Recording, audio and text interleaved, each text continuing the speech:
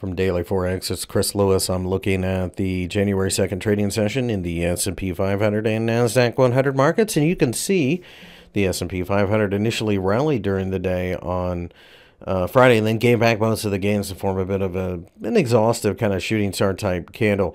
Looks like we're going to pull back here. I think 2650, 2600 both offer um, buying opportunities, and that being the case, um, I'm looking for a bounce. I'm looking for some reason to go long. Uh, with the uh, jobs number coming out later this week, it could be kind of quiet though for the next couple sessions.